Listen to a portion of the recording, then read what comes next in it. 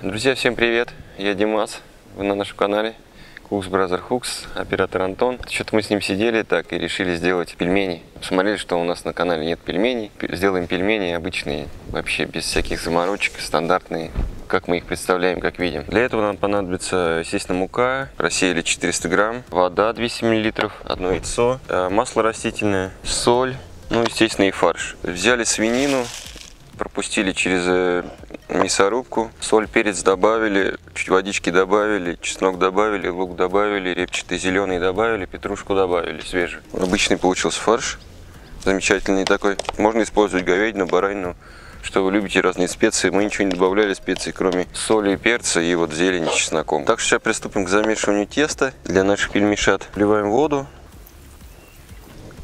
добавляем яичко.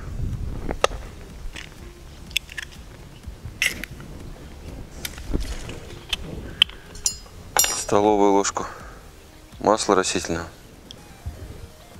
И соли 3 четвертые ложки чайной. Все, и сейчас будем замешивать аккуратно все. Естественно, будем муку использовать для присыпки нашего теста. Куда без этого. Помешиваем обычное тесто стандартное. И продолжаем руками замешивать. Присыпаем нашу доску немножко мукой. И уже переходим здесь замешивать. Ну, вымешиваем 5 минут примерно, пока не станет прилипать. Как говорят профессиональный пекарь, главное не забить мукой тест. Знаете, что такое? Но у нас, наверное, так получится. Ну вот, тесто уже начинает не прилипать.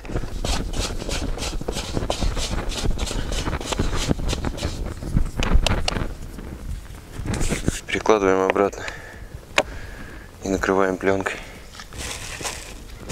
Ну все, убираем минут на 30 тесто отдохнуть прохладное место. Ну вот, у нас прошло 30 минут примерно. Ну, тесто отдохнуло. Сейчас припудрим мукой.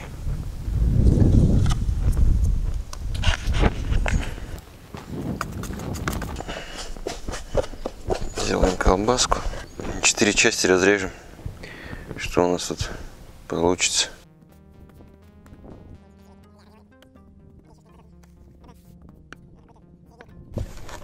Тесто, в принципе, хорошее, мягкое, хорошо катается. В холодных условиях тесто у вас будет не очень хорошее. Сейчас я посмотрю. Ну, отлично, хватает.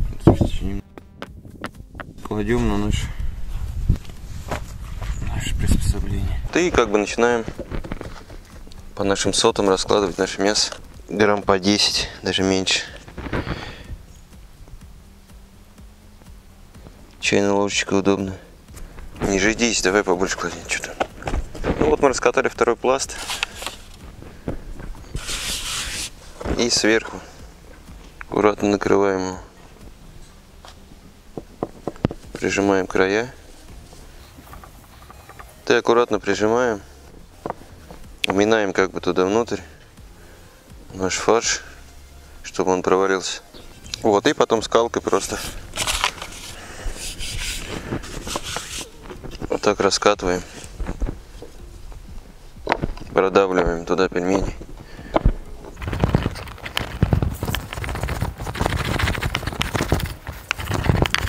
Или излишек теста убираем просто. И стучим, просто они выскакивают.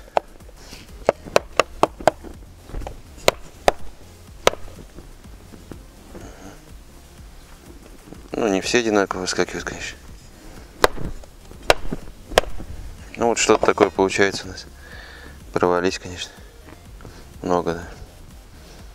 Ну, брак есть во всем производстве. Ну, вот такие пельмеши получаются. Домашние, зато вкусные. Куда без брака в отечественном производстве.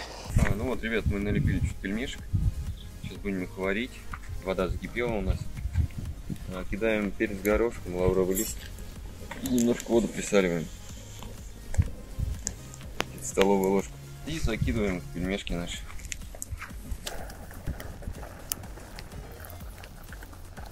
Говорят, надо после всплытия варить где-то минут 3-5. Но у нас уже некоторые всплыли. Так что точно варим минут 5. Накроем крышкой. Подождем какое-то количество времени. Ну, визуально все будет видно, как они сварились, нет. А, ну все, вот у нас прошло тут примерно минут 5. Они начинают уже так сжиматься. Это главный показатель, что пельмешки наши готовы. На вид интересные, смешные, как мозги. Как мы всегда, ребят, перешли нашу пробу, наше блюдо, что у нас получилось. Добавим маслица и попробуем наши пельмешки, что на вкус, как они. М -м -м. Вообще. Прям, если кто пельмени лепит постоянно, знает, как это вкусно домашние пельмени. Также маслица, кетчуп, майонез, любые соуса добавляйте. Тесто приятное получилось, неожиданно для меня. Так что такой рецепт простой советских пельменей, как раньше делали в домашних условиях. Помнил детство. Сейчас редко делаю, но делаем иногда. Увидимся в дальнейших наших выпусках. С вами был Димас, вся банда во главе с Антоном. Все, давайте, всем удачи, пока-пока.